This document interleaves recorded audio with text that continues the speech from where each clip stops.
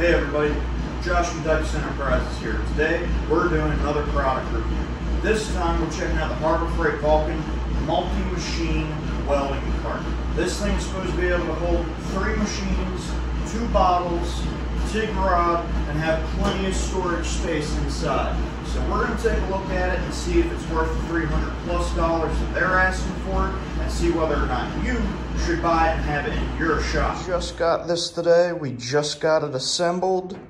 We're going to go over it, take a quick look at it, see what it looks like empty before we get it all loaded up, take a look at what the drawers look like, and uh, kind of go from there. We're going to get it loaded down with two of the machines that we use on a regular basis in the shop, which is going to be our Hobart Handler MVP 210 MIG unit here that we use on a regular basis for doing a lot of our rail work and auto body work.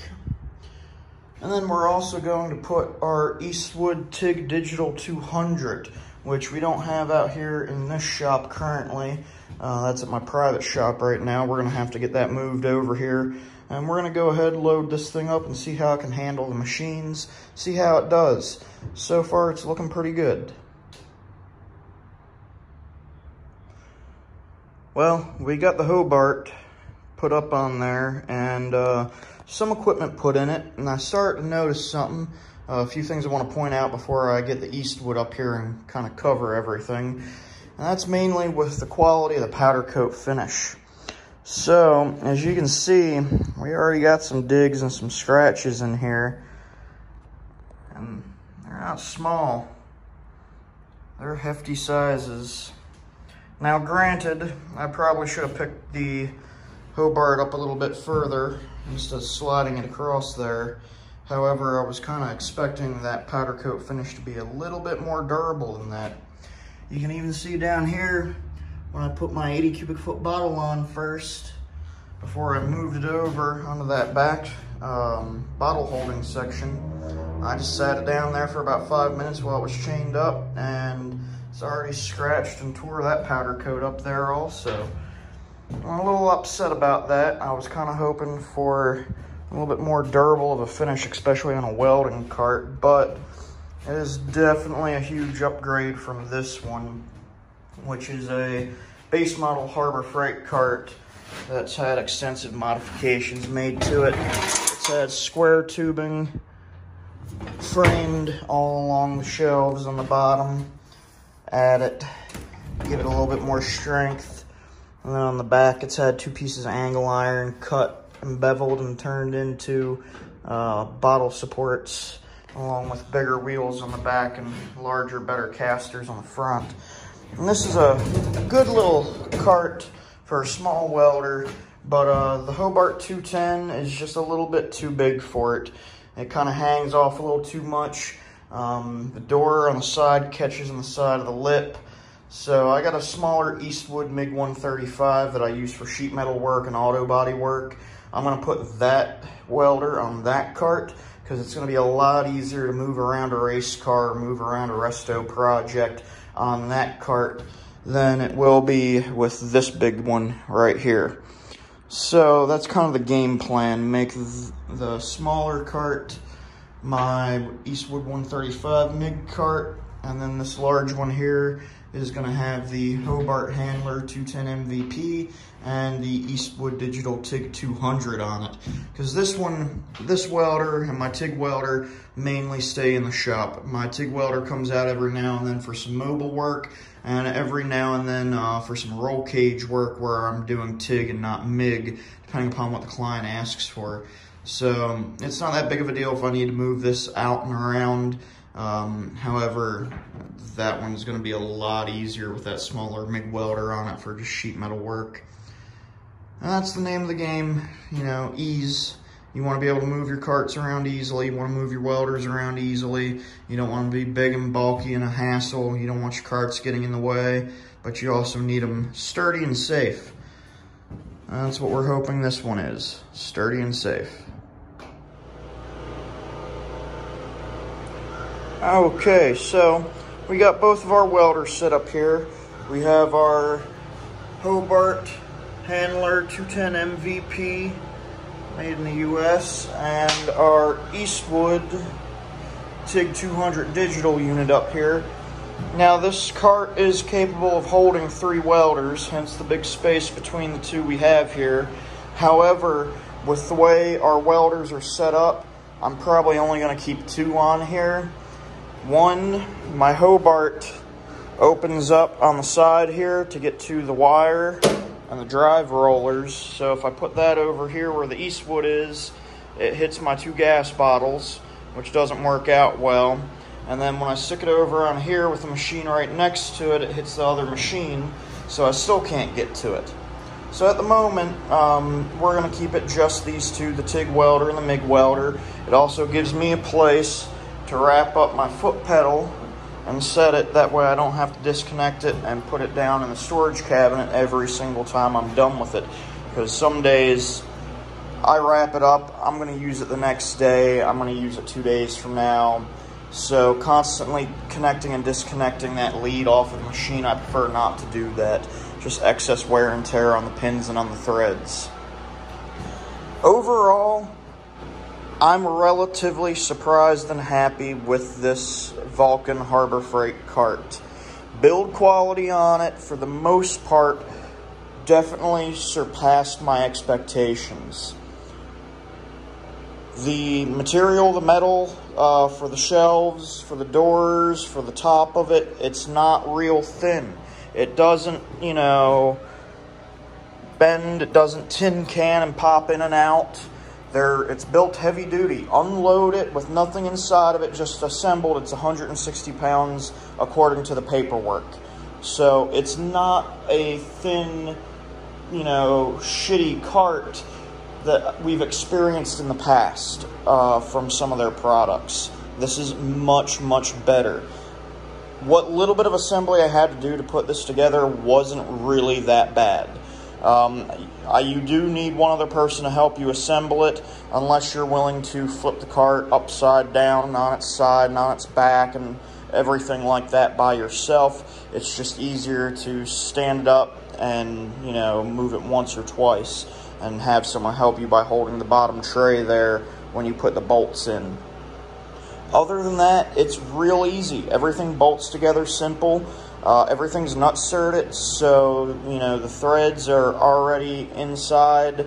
Uh, you don't have to worry about trying to hold a nut and a washer and a bolt and you know thread things together on the inside and on the outside. All the drawers are already in. The only thing you have to do is put the two shelves on, your bottle racks, your wheels, your handle, and your uh, electrode holders and TIG rod holders, which all bolt in very, very easily. Uh, I believe it took maybe 20 minutes, half an hour tops to get the box out of the truck, opened up, figure out what everything was, assemble it, wipe it down, and get it into the shop.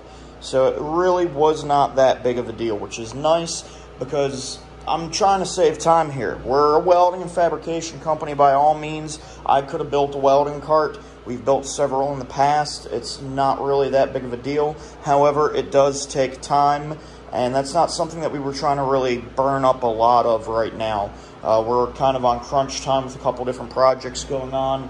Uh, we're in fall, winter's getting here closer, uh, so we do have outdoor work that needs to get wrapped up and finished up before snow gets here.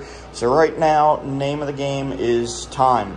The other big thing that sold me on this the store was all that storage area. And let me kind of show you how we put all of that to use. So the top drawer that's got all the separation pieces in it, we use for TIG and MIG parts. We have all of our uh, TIG tips, aluminum tips, nozzles. We have uh, standard TIG supplies. We have our um, gas lenses from M. We have our standard top style gas lenses. All of our cups, our Furick cups, our adapters, tails and end caps. Uh, more gas lens cups, small aluminum nozzles, and lava stone nozzles for doing TIG work. just a miscellaneous tool uh, drawer. We haven't really filled it with everything yet, but we basically just want the basic tools for doing any servicing on the regulators, the machines, or basic work. I have a another box over here that's got all of our layout gear and you know measuring equipment and mirrors and specialty things like that. This is just basics. The next one's empty right now. Um, We've been putting our grinders in here right now. Uh, I got them out in tool bags because we're packed up for a job, so we're going to be taking them out tomorrow. Uh, but that is where we've been keeping our grinders at. And normally these weld leads aren't in the way. Right now uh, I'm set up and just got done doing a uh, TIG job and getting ready to start on another one. Um, so usually these would be wrapped up and tucked out of the way. Down at the bottom, it opens and slides open. We can store helmets helmet parts. Right now we have our uh, hearing PPE in there. Uh, both of our helmets are out in the bags. You can open up the side cabinet. We start to load it. We have some weld rod down on the bottom. We still have to move the rest out from our other storage cabinet. Uh, up top we have uh, some of our uh, bottle caps. Moving over onto the door storage, we have alcohol prep pads, pipe wraps, different types of anti-splatter sprays and liner cleaners. It's a very good cart. It holds a lot of your welding stuff. So now, instead of having a big cabinet somewhere with all of that welding gear, it's inside of the cart. Wherever our welders go, all of the uh, you know parts and pieces that we need to fix it or to change setup goes. Um, we do have decent amount of room around the back for TIG rod storage. We're actually going to take some PVC closer to the diameter of these holes and make some sleeves and get rid of these uh, multiple containers here and clean it up a little bit. We have some braze rod over uh, here tucked in by our bottles just because we had more filler rod than what the cart would hold. And right now we have a smaller 80 cubic foot 7525 tank and a larger 120 for the pure argon for the TIG. And overall, I'm pretty happy. There's a few things um, that I was a little upset about. One of them that I brought up earlier is the quality of the powder coat. There's a lot of scratching. There's a lot of marking just from getting things set up. Um, you can see right down here some gouges on the powder coat. Uh, earlier I showed you the ones around where the bottles are, which you can't see it obviously when the bottle's on it, and that's not what I'm concerned about. I'm just concerned about how long until it starts to, you know, corrode or rust or really start to chew anything up on it. It's got a pretty good sturdy handle. It doesn't flex, it doesn't really move. Lead wraps on the side, lead wraps on the back over there. The only other thing that I'm not 100% happy with, or that I should say would be nice to see on future models, is currently they only put a lock on the larger cabinet door. It would be nice if we saw a secondary lock right up here, just like a toolbox that has the back bar that comes down and locks all the drawers, uh, or as well as one on that bottom one where we keep our helmets. Um, all keyed the same because it comes with two keys. Keep it all keyed the same. Just that way at the end of the day, if I want to leave my, you know, uh, Miller Digital Elite helmet in here or one of my nice Jackson hoods in there, um, I don't have to worry about it. I have a lot of M-Furic and CK lenses uh, in that top tray. That's not something I really want walking off. Now, thankfully, typically I don't have to worry about things like that because uh, I'm the only one here at the shop. But it's still something for other people who are going to be using this in a larger shop environment, maybe that has multiple shifts. It would be a good idea to add. Uh, as far as pricing goes, it's not hateful. It's not outside of the realm of, yeah, I'll spend that much money uh, at around 340 to 350 I believe it came out to be. However, uh, after seeing the quality of the powder coat and the fact that it's only got one lock on it, I'd be a lot happier if this was closer to the 275 to 300 range. If you could get a coupon or get it on sale at that price, I'd do it all day long. Um, I'd still spend the extra money for this, um, most definitely it's worth it. Uh, I'm just going to complain a little bit more and, you know, be a little more grouchy on the ride home. That's all. Well worth the money, though. I'd give it four out of five stars. Um, I'd definitely say if you're looking for a multi uh, machine cart and you have the room to spare something of this size, by all means, definitely buy it. Um, it is quality, it's not cheap garbage uh, like some of the other carts that we've seen throughout the years from Harbor Freight. Uh, this is a much higher quality cart. So that about wraps it up. Per usual, if you like the video, hit subscribe and follow. Check us out on Facebook as well as on Instagram at Dicus Enterprises LLC or Dicus underscore Enterprises for Instagram. And feel free to leave comments uh, if you have any uh, personal experience with this cart. We've only had ours for a week now, so we're not too sure durability-wise how it's going to hold up. This is just basic first impressions. Uh, after we've had it for a year or so and we've really started to use and abuse it, we'll do another video, check out how well the powder coatings held up, how well the casters have held up, how well all the slides and the drawers have held up, because that is something I am interested in seeing how over time in a shop environment, how well is it going to do. So we'll check on that at a later date and see how it's panning out. As always, thank you for watching, and I'll see you all next time.